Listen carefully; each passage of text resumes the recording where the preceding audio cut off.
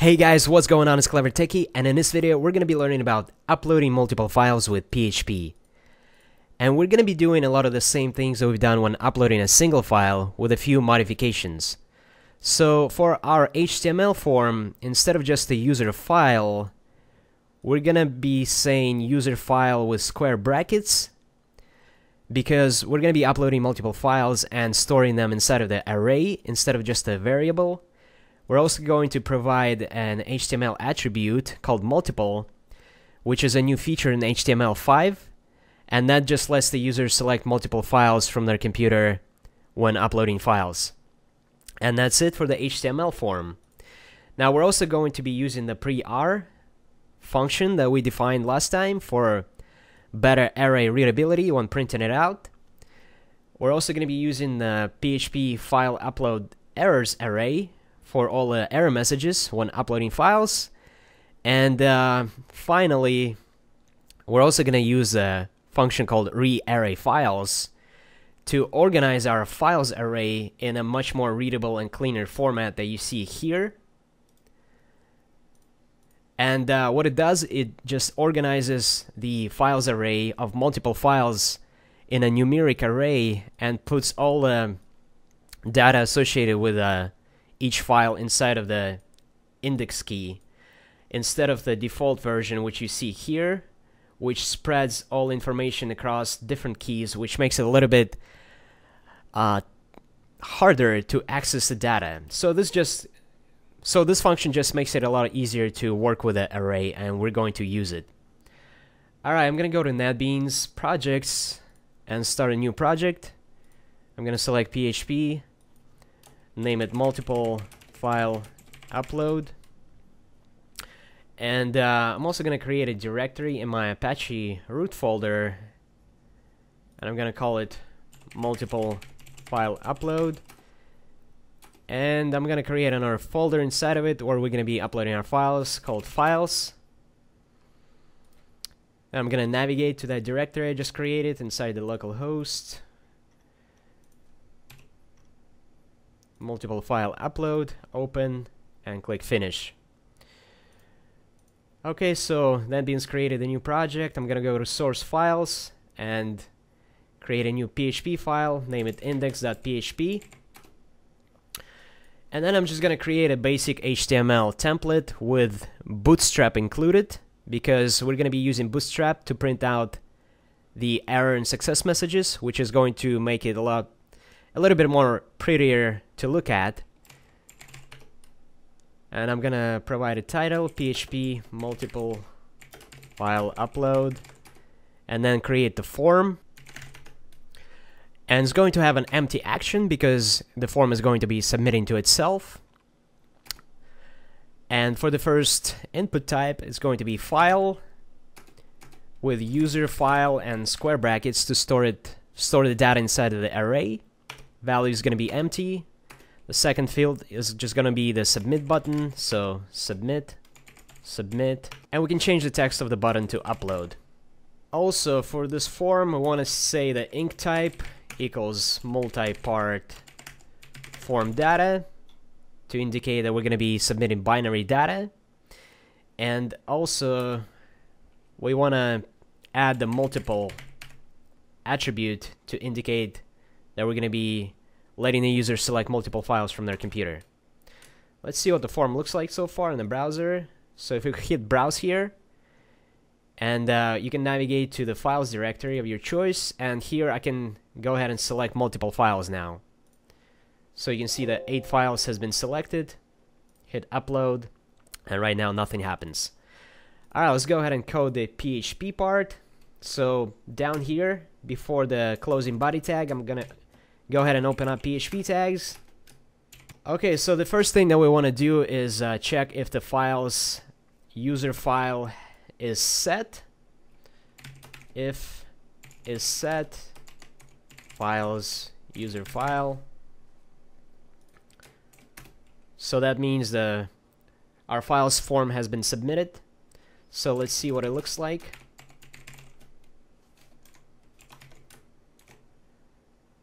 Okay, I'm just gonna select all these files, hit upload. Oh, I've actually forgot to include all the functions that we're gonna be using, so that's what we're gonna do right now.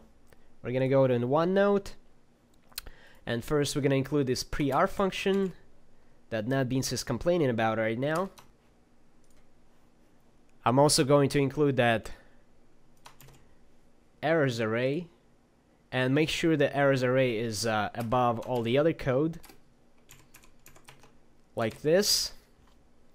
And finally the rearray files function. And I'm gonna paste it down here. And this is a function that's going to organize our files array in a more readable format. Now let's go ahead and print out the files array and see what the default format looks like. So I'm gonna go ahead and select multiple files, hit upload, and you can see here that PHP is organizing our files by an associative array, but it puts the values inside of a different array key, which makes it a little bit harder to access them with the loops. So this is what it looks like so far. And now we're going to use this uh, rearray files function, so we're just going to say file array equals rearray files and then provide the actual array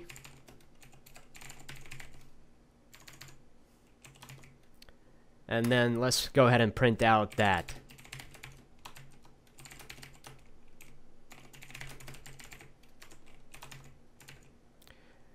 I'm gonna select the files again hit upload and as you can see it's uh, it's now a lot easier to work with our array because it's a numeric array. We can easily loop through it using the for loop, and we can access all the individual file information inside of the each array key. So that makes it a lot easier to work with. Alright, so we got that. And now we're ready to work with our files array. So the first thing that we want to do is, um, since we have an array full of files, the first thing that we want to do is loop through the array. So we're going to use a for loop for that. I'm going to say count file array, which is going to count the array and loop through it until it's done. And so the first thing that we want to do inside the loop is to check if there are any PHP errors. So we're going to say if file array i error. So if there are any errors, then we want to output an error. And here I'm going to be using a bootstrap div. For the output, I'm going to use that PHP file upload errors array to output the appropriate error.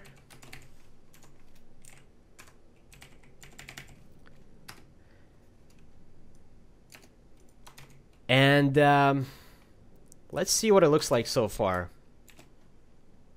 So I'm gonna select all the files here, hit upload. And uh, so far we're getting this one error. The upload file exceeds the upload max file size directive in PHP ini. And uh, so far we don't know which file this is. So we know that the error is is this one here but we don't know what the file name is. So let's go ahead and associate a file name with this array as well. So we can just say, so we can just say file array i name, which is the name of the file, and then we're just gonna concatenate that using the concatenator. Now let's see what it looks like. Okay, so now you see that um, which file is associated with this error, which is uh, a movie file which is beyond the uh, size limit directive in PHP INI. Though we're not getting any extension errors and success messages, and that's exactly what we're to do next here. Okay, so next up, if there are no PHP upload errors, then we want to check for extension errors. So we want to say else, and then I'm to create an extensions array with extensions that we're to be allowing for the upload. And uh, for this example, I'm just to use a bunch of image extensions like we did last time. So this is a list of extensions that we want to allow the user to upload. Next, we want to extract the actual extension that's been uploaded using the explode function. So inside of the file extension variable, we can say explode and then dot as a delimiter and then the actual name of the file.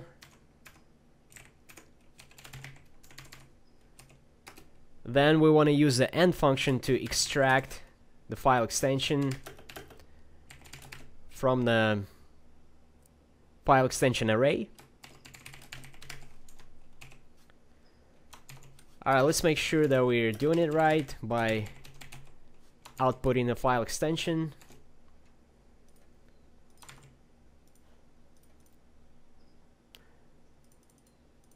Okay, so the extensions are being extracted correctly.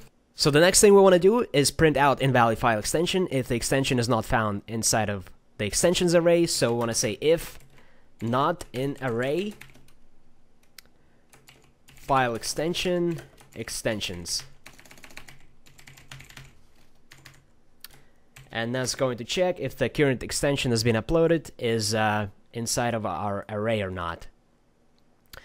And so if the extension is not found inside of the extensions array, we want to print out an error message. So can I use another danger div and say invalid file extension. We're also going to provide the file name so we know which file is associated with that extension error. File array i name invalid file extension. Alright, let's go ahead and see if that works so far. Gonna select all the files again, hit upload.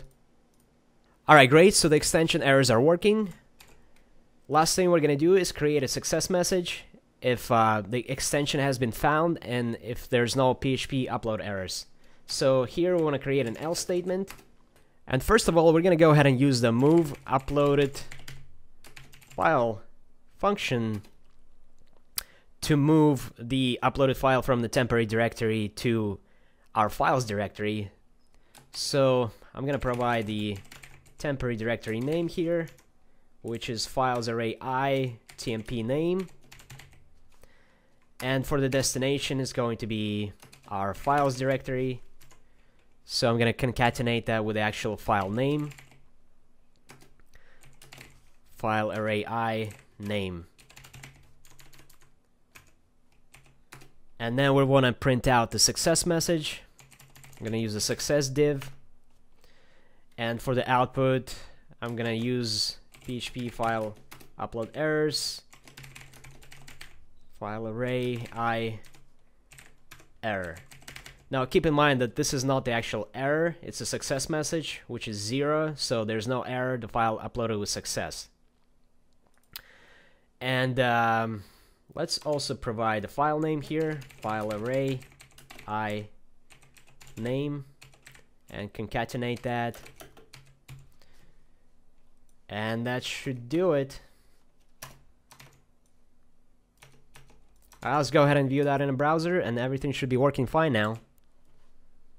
Let's go ahead and select multiple files, hit upload, and bear JPG, there's no error, file uploaded. Duck has been uploaded and Fox has been uploaded, and we get the errors for all the invalid extensions and the uh, big file.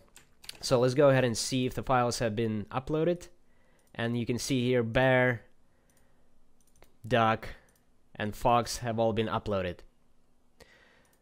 So everything is working. Now let's go ahead and change the extensions to PDF and executable, for example, and allow those extensions only. So now I'm going to go ahead and browse, and as you can see, the only file that's executable is this one, and and and the book.pdf is the PDF file. So those are the only two that should be uploaded hit upload and book.pdf has been uploaded and the executable file has been uploaded now so that's how easy we can change the extensions and we can go ahead and check here and those files have now been uploaded in our files directory and that's how you upload multiple files with PHP now once again you guys can go ahead and download all the source code from my Patreon page along with uh, all the OneNotes that you saw in the video. And uh, if you like this video, please like, share, and subscribe. And I'll see you next time. Clever Techie out.